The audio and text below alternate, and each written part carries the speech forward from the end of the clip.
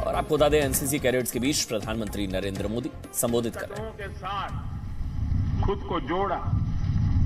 स्वच्छ भारत अभियान हो, डिजिटल ट्रांजेक्शन हो, बेटी बचाओ बेटी अभियान हो, पर्यावरण से जुड़े मुद्दे हो जन जागरण के ऐसे अनेक मुद्दों को लेकर आपके प्रयास प्रशंसनीय है। विशेष तौर पर केरल में भीषण बाढ़ के बाद राहत और बचाव कार्यों में एनसीसी के कैडेट्स का योगदान बहुत सराहनीय है। सहयोग और समर्पण का जो पाठ आपने यहाँ सीखा है, उसको आपने केरल में मुश्किल में फंसे स्वजनों को राहत देने में अमल में लाया। मुझे विश्वास है कि आप इसी प्रकार अपने दायित्वों को निभाते रहेंगे। साथियों, दो दिन पहले ही हमारा गणतंत्र ने सत्तरवें वर्ष में कदम रखा है। पहले राजपथ पर और आज यहाँ पर आपके चेहरे की चमक और आपके अनुशासन की झलकियाँ मैंने और उन झलकियों में मुझे नए भारत का कदम ताल दिखता है। पूरे आत्मविश्वास के साथ सीना चौड़ा किए, मस्तिष्क को ऊँचा रखे, राष्ट्र के गौरव के लिए तत्पर, ये असीम ऊर्जा उत्साह देने वाले होते हैं। आपका ये जोश, आपका ये उत्साह ही है, जिसके कारण भारत आज नए आत्मविश्वास से भरा है। आज दुनिया कह रही है कि भारत न सिर्फ़ संभावनाओं से भरा हुआ देश है, बल्कि उनको साकार भी कर रहा है। साथियों, देश की अर्थव्यवस्था हो या फिर दुश्मन से निपटने का हमारा सामर्थ्य, हर स्तर पर हमारी क्षमताओं का विस्तार हुआ। हमारी सेना ने ये स्पष्ट संदेश दिया है कि हम छेड़ते नहीं हैं। लेकिन किसी ने अगर छेड़ा तो हम उसे छोड़ते भी नहीं हैं।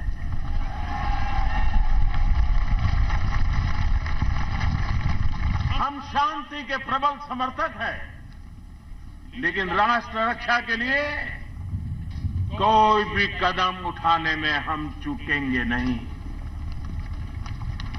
यही कारण है कि बीते साढ़े चार वर्षों में देश के रक्षा और सुरक्षा को सर्वोपरि मानते हुए अनेक महत्वपूर्ण फैसले लिए गए हैं। साथियों, भारत दुनिया के उन चुनिंदा देशों में शामिल हुआ है, जिसके पास जल थल और नभ से परमाणु हमले और आत्मरक्षा करने की क्षमता है। इसके अलावा दशकों से लटके पड़े लड़ाकू विमानों और आधुनिक तोपों से जुड़े समझौतों को ज़मीन पर उतारा गया है। देश में भी मिसाइल से लेकर टैंक, गोला बारूद और हेलीकॉप्टर बनाए जा रहे हैं। मैं देश, आप युवा साथियों को आश्वस्त करता हूँ कि आने वाले समय में हर वो बड़ा और कड़ा फैसला लिया जाएगा जो राष्ट्र की सुरक्षा के लिए ज़रूरी है। अगर राष्ट्र सुरक्षित रहेगा, सक्षम रहेगा, तभी युवा अपने सपने साकार हो पाए, कर पाएगा। साथियों, आप यहाँ देश के अलग अलग क्षेत्रों से आए। आप में से अनेक छोटे छोटे गाँवों और कस्बों से हैं। अलग अलग पृष्ठभूमि से हैं। मुझे आप सभी के परिश्रम का एहसास है। आपके समर्पण का एहसास है। मैं आपको सिर्फ़ यही कहूँगा कि यही परिश्रम हम सभी को समर्थ बनाता है। हमारी नींव को ठोस करता है। परिश्रम का क्या परिणाम होता है? ये जानने के लिए एनसीसी के आप सभी कैडेट्स को बहुत दूर जाने की ज़रूरत नहीं है।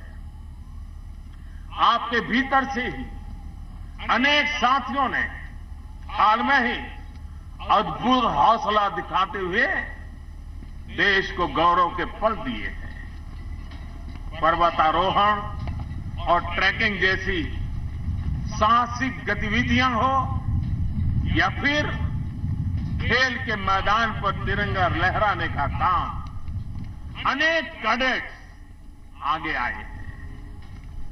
नॉर्थ ईस्ट डायरेक्टर की कैडेट हिमा दास को तो आज दुनिया गौरवपूर्ण रूप से जानने लगी है।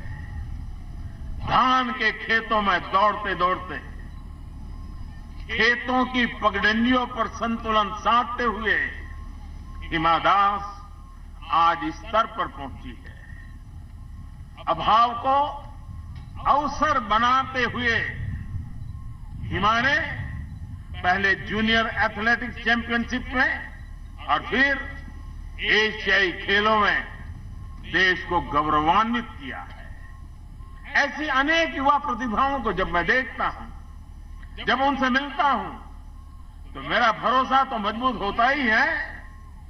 इस भरोसे को और सशक्त करने की ऊर्जा भी मिलती है। साथियों, सपने देखना और आकांक्षाओं को उड़ान देना, यही युवा की पहचान होती है, यही उसकी स्वाभाविक प्रवृत्ति होती है। अपने सपनों और आकांक्षाओं को और ऊँचा उड़ने दीजिए। अपने प्रयासों का पूरा विस्तार दीजिए।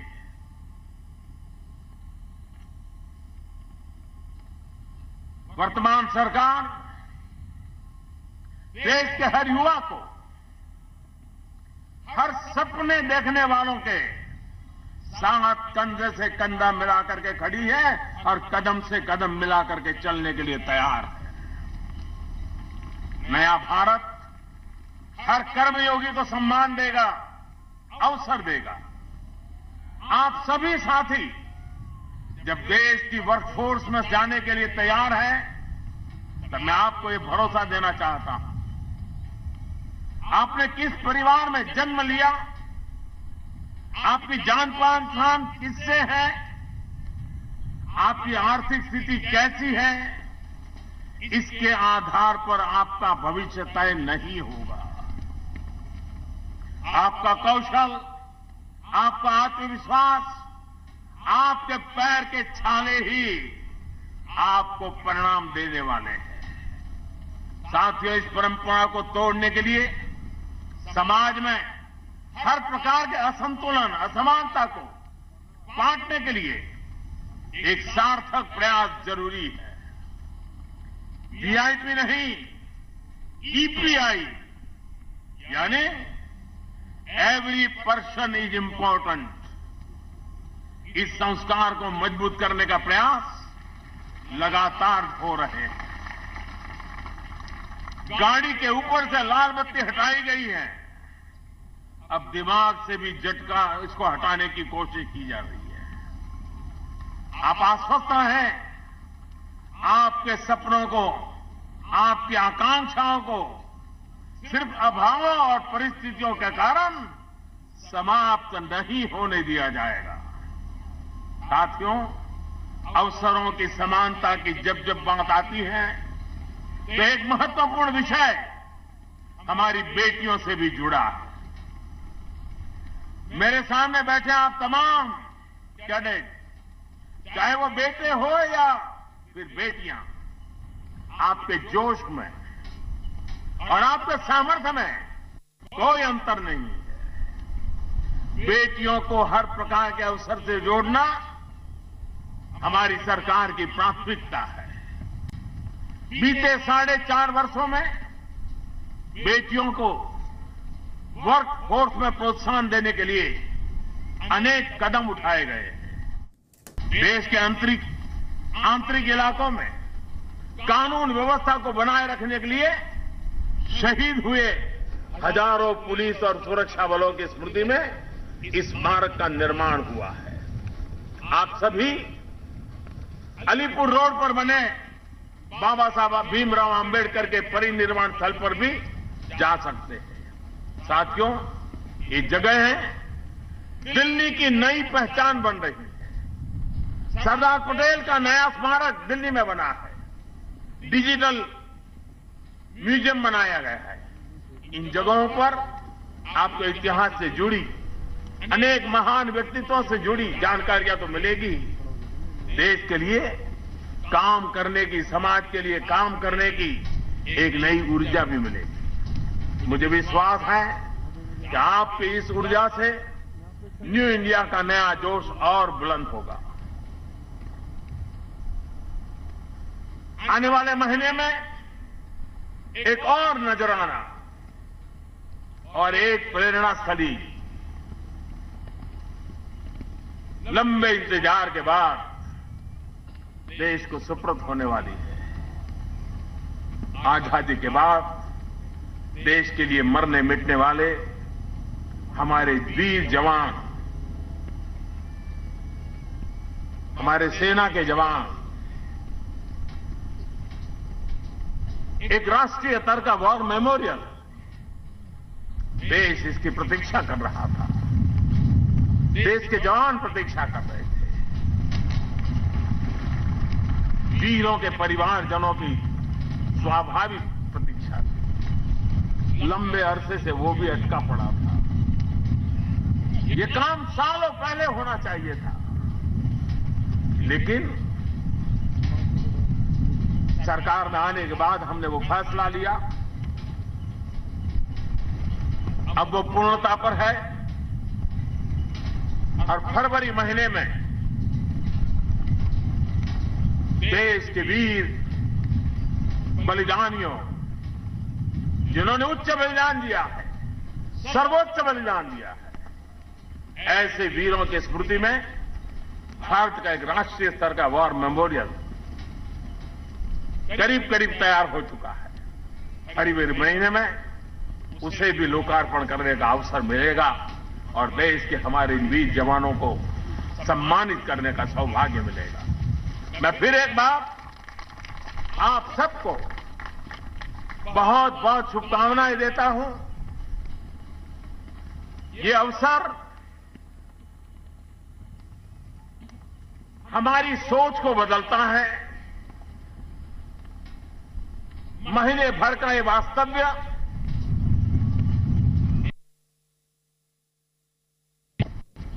राष्ट्रीय स्तर पर ले जाती है। हर सोच में हम हमारे देश के लिए क्या सोचते हैं?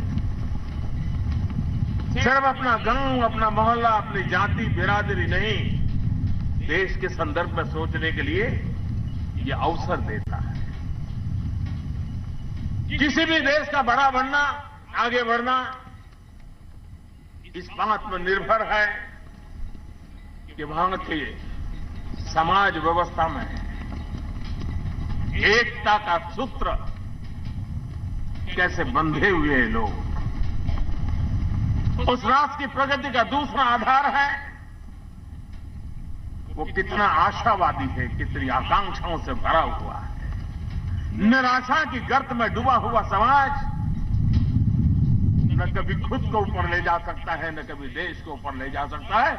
आज मैं गर्व के साथ कहता हूँ, सवा सौ करोड़ हिंदुस्तानी नई आशा, उमंग और आकांक्षाओं से भरे हुए और इसके कारण मुझे लगता है कि मेरा देश नई ऊंचाइयों को पार करके रहेगा। सपनों को साकार करके रहेगा। और जिन सपनों को लेकर के देश के आज़ादी के दीवानों ने आज़ादी का जंग लड़ा था, उन सपनों को पूरा करने का वक्त अब शुरू हो चुका है।